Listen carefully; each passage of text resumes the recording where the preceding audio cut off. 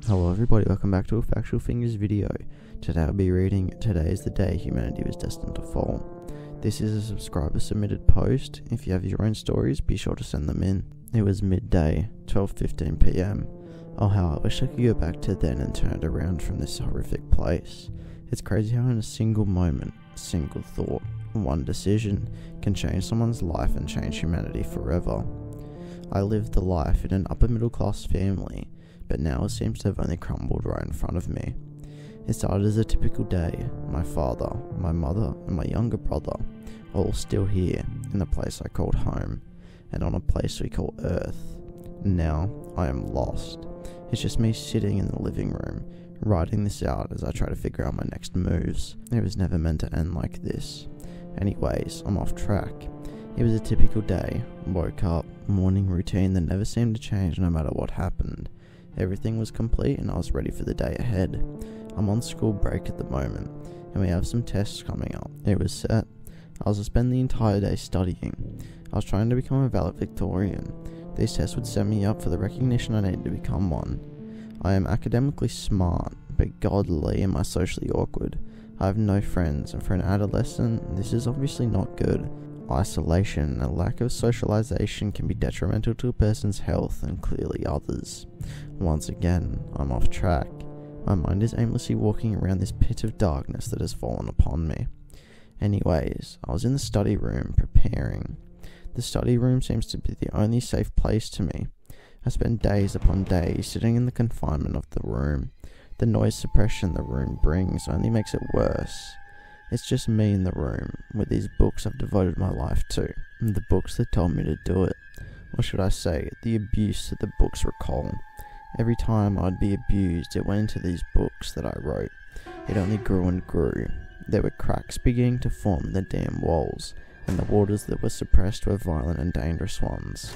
The ones that cannot be stopped and will not be stopped if it gets going.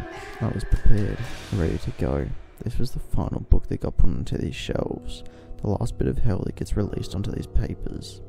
I left the confinement of that godless study room, prepared to release the wrath that God wished for me to hammer down on these disgusting people. Wealthy, materialistic, godless, non warriors. God hates what his creations have become. Non warriors, self entitled, soulless human beings. I've decided to change this.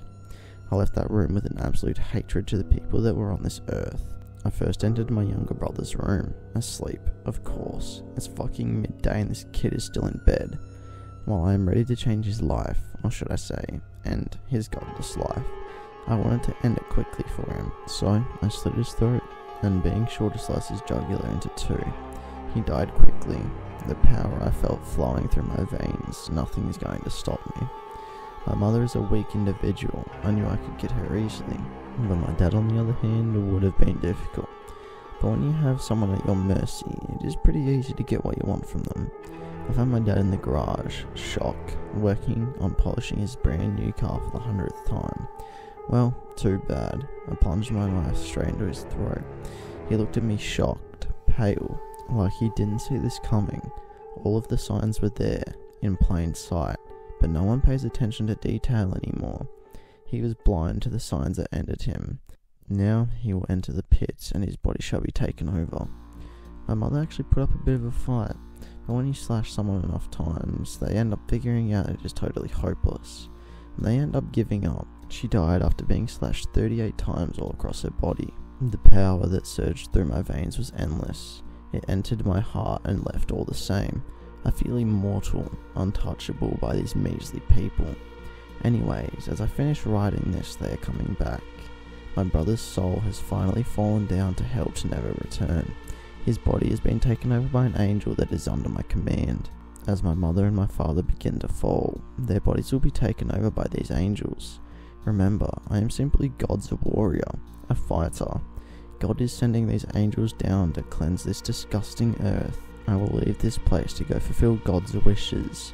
Many more shall fall down to the hells, and their body will return for the angels to take over to help me cleanse this place. This is a warning. We are coming for you.